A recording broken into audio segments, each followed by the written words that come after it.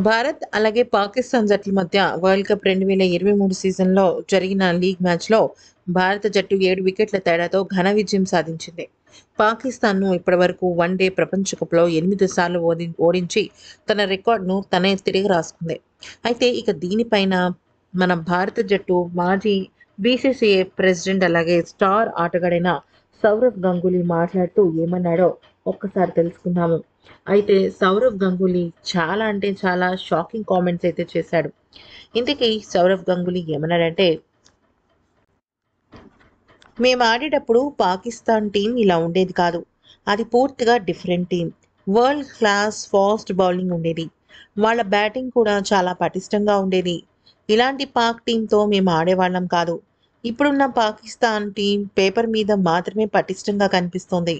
Batting చేస్తున్నప్పుడు ప్రెషర్ని కూడా తట్టుకోలేకపోతున్నారు. ఇలాంటి బ్యాటింగ్తో వరల్డ్ కప్లో నెట్టుకు రావడం చాలా కష్టం. బాబర్ మహమ్మద్ రిజ్వాన్ ఎవరి బ్యాటింగ్లోనూ నాకు కని కసి కనిపించలేదు. టెక్నిక్ తెలియనట్టుగా భయపడుతూ ఆడినట్టు కనిపించింది. మేం చూసిన పాకిస్తాన్ టీం అసలు ఇలా ఉండేదే కాదు అంటూ కామెంట్ చేశాడు టీమిండియా మాజీ కెప్టెన్ సౌరవ్ గంగూలీ. ఇలా అయితే పాకిస్తాన్ ఎక్కువ కాలం నిలవదని చాలా అంటే చాలా చౌకబారు ఆట ఆడారని పేర్కొన్నాడు.